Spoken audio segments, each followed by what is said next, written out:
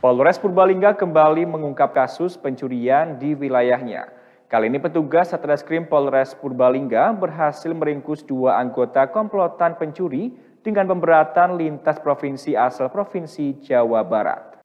Polres Purbalingga kembali mengungkap kasus pencurian dengan pemberatan di wilayahnya.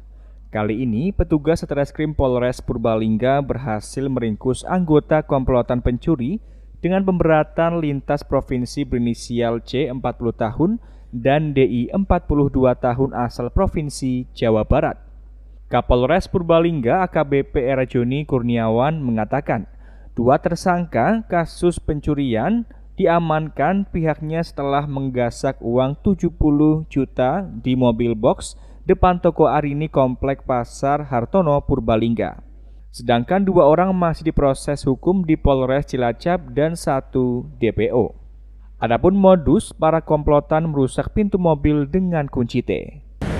Modus yang dilakukan oleh pelaku adalah membobol mobil box yang berisi uh, bahan sembako, namun yang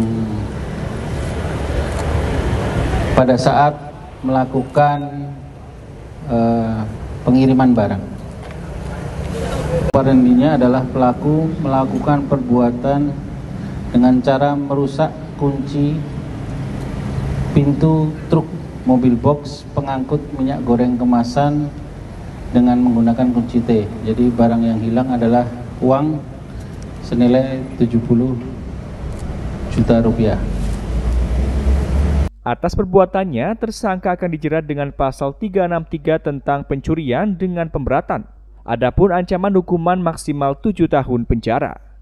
Dari Purbalingga, Tarnowo, Satelit TV, mewartakan.